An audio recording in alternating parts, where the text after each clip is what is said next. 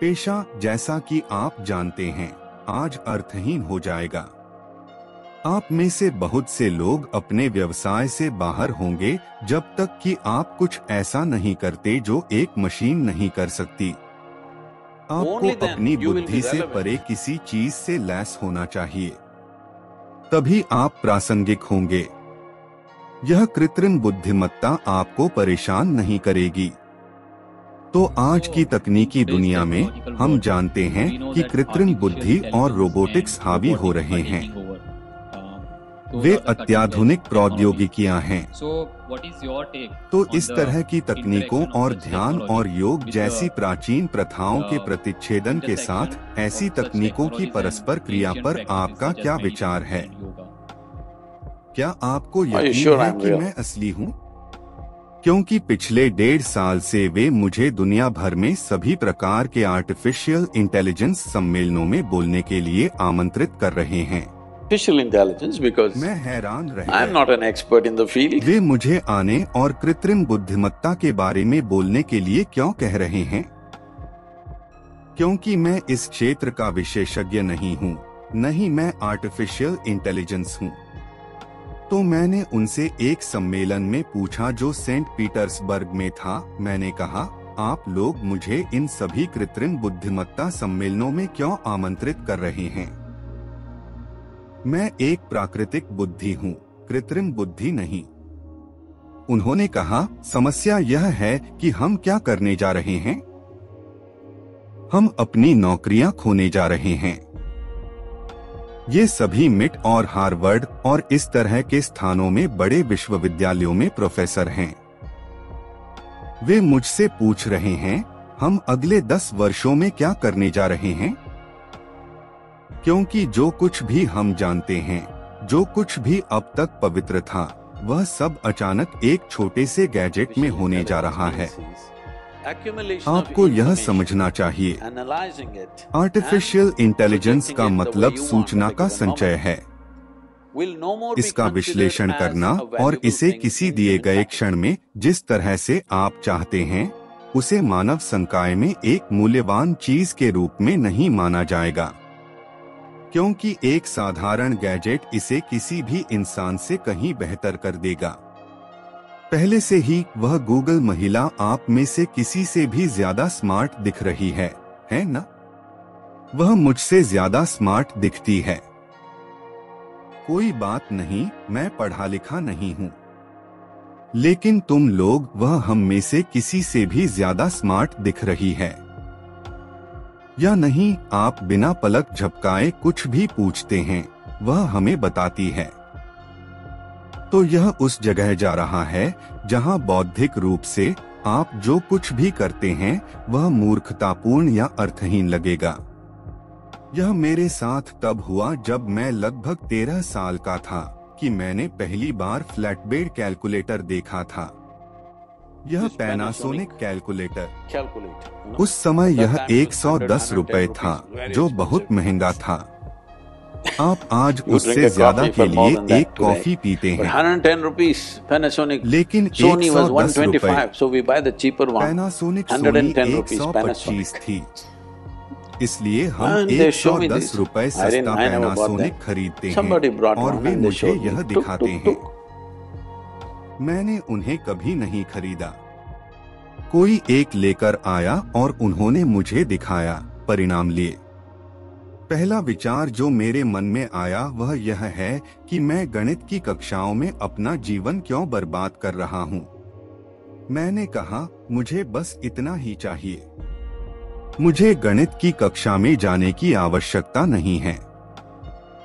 आप जो भी सवाल पूछो, एक सौ रुपए की चीज़ बता सकती है कि यह टॉर्चर क्यों? दस साल से इन गणित और गणित और हर तरह की चीज़ों से गुजर रहा हूँ। यह साइन थीटा कोस थीटा भी कर सकता है, जो भी बकवास आप चाहते हैं। तभी मैंने सोचा कि हमें एक बड़ी मशीन बनानी चाहिए, जो यह सब बकवास करती है, ताकि मुझे स्कूल न जाना पड़े। आखिरकार सपना सच हो रहा है। अगले 1015 वर्षों में, जिस शिक्षा को आप आज जानते हैं, जिस पेशे को आप जानते हैं, वह अर्थहीन हो जाएगा। क्योंकि अभी उन्होंने ये मशीनें बनाई हैं। तो एक बार ऐसा हो जाने के बाद, कई, बहुत सी चीज़ें जिन्हें हम सीखने में बरसों लगा रहे हैं, अर्थहीन हो जाएँगी। वे कुछ ऐसा डिज़ाइन कर रहे हैं कि अगर कोई ग्राहक आए और कहे कि मुझे कैसा घर चाहिए, मेरा सौंदर्य क्या है, मेरी संस्कृति क्या है, मुझे क्या पसंद है, यह कैसा होना चाहिए और मेरा बजट क्या है। एक मशीन एक पूरा घर डिज़ाइन करती है। दस अलग अलग विकल्प जो आप चाहते हैं, जिसमें दीवार में लटकी हुई पेंटिंग, फर्नीचर, काम शामिल हैं।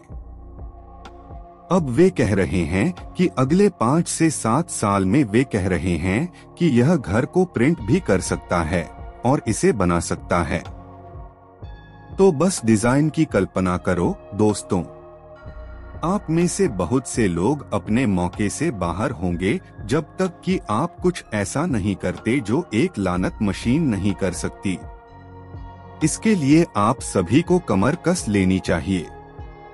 अब आपको अपनी बुद्धि से परे कुछ करने में सक्षम होना चाहिए। इंसान के पास बुद्धि की कई परतें होती हैं। बुद्धि इसका एक छोटा सा हिस्सा है।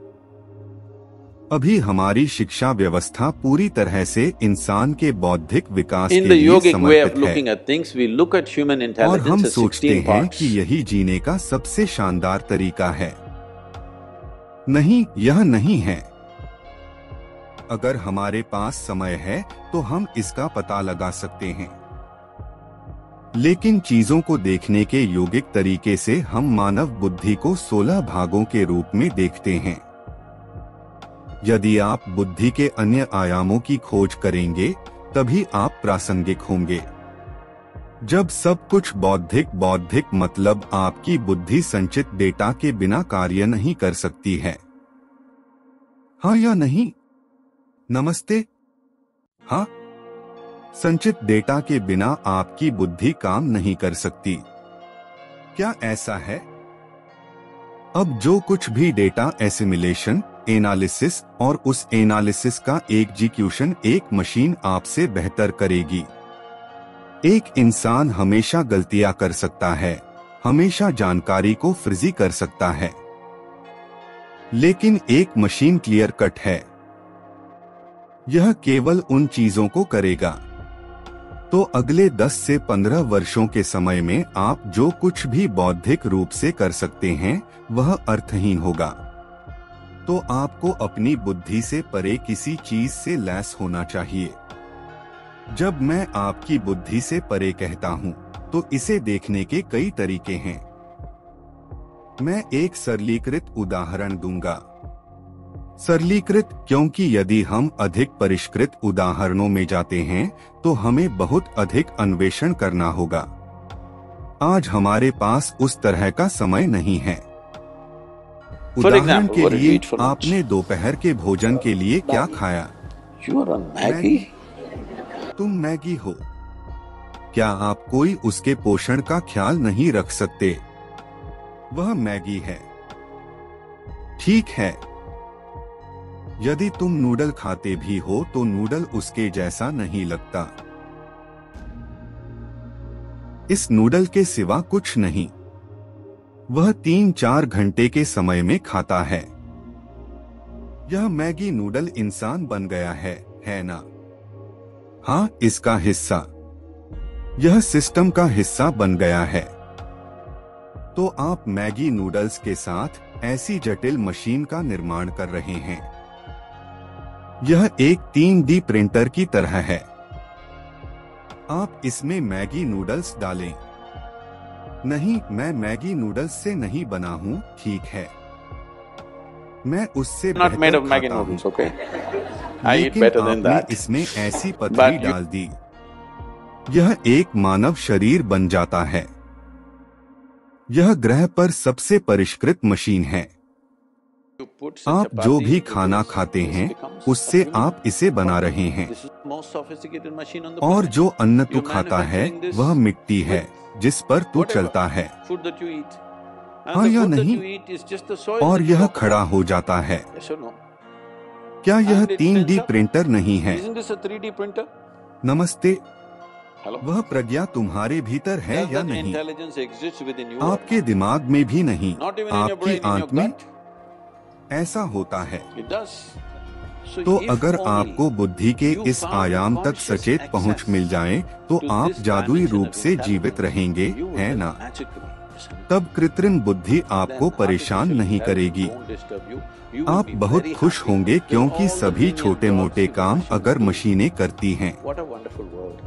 क्या अद्भुत दुनिया है।